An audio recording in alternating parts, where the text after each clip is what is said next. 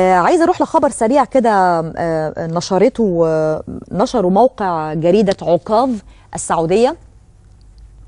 ده تقريم تقرير مترجم عن يعني هي اللي نشرته عكاظ السعودية. بس هو جاي نقلا أو مترجم عن وسائل إعلام فرنسية.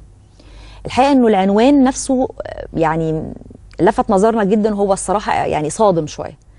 العنوان نفسه أو ال headline بيقول لك فيه تساؤل عما إذا كانت أعداد الموتى كافية كي تفتح بصيرتنا نحو كأس العالم 2022 في قطر. وعامل لك كده question mark أو علامة استفهام كبيرة جدا في العنوان. ال subtitle بقى جاي بيقول لك إنه في يعني قايل لك إنه ألم تكن أعداد الموتى في قطر كافية؟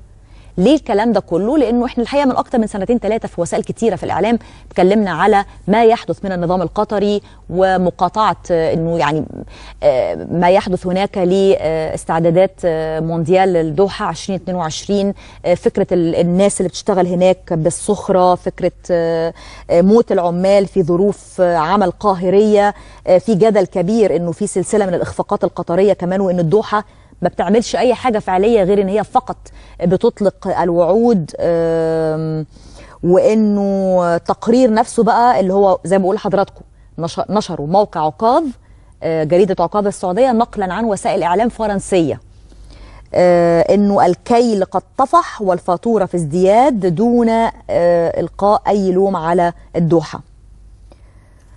دي طبعا مشكلة كبيرة والاتحاد النقابي الدولي كمان كان اوريدي كان كان بالفعل متكلم على مخاوف من تعرض 4000 عامل لخطر الهلاك في قطر بحلول المباراة الافتتاحية. يعني كان في تقارير من الاتحاد الدولي كان قايل لك إنه على ما يحصل افتتاح المباراة الافتتاحية في 2022 ممكن يبقى عندنا 4000 عامل يعني في خطر كبير لأنه كل ظروف العمل هناك غير مناسبة ليهم. طبعا كان في تحقيقات قبل كده في 2013 اتعملت أكدت وفاة 520 عامل من دول كثيرة نيبال والهند وبنجلاديش من بينهم 385 حالة وفاة غامضة.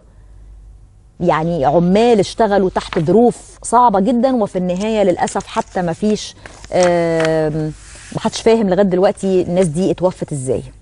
دي ظروف عمل أو كيف يدير النظام القطري الاستعدادات لمونديال 2022 في إيران